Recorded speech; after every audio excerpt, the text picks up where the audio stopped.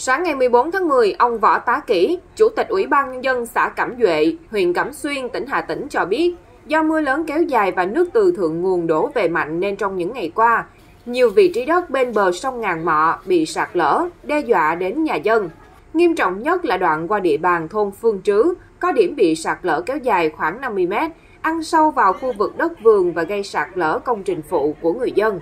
Đặc biệt, vị trí sạt lở này chỉ còn cách nhà ở chính của hộ dân khoảng 2,5 mét, trực tiếp đe dọa đến nguy cơ mất an toàn về người và tài sản. Ngay trong sáng ngày 14 tháng 10, chính quyền xã Cẩm Duệ đã huy động khoảng 200 người, vận chuyển gần 100 khối đá học, 50 chiếc lưới thép cùng hàng loạt cọc tre các loại, khẩn trương gia cố trước mắt ngăn nguy cơ sạt lở bờ sông lan rộng, ăn sâu vào khu vực nhà dân.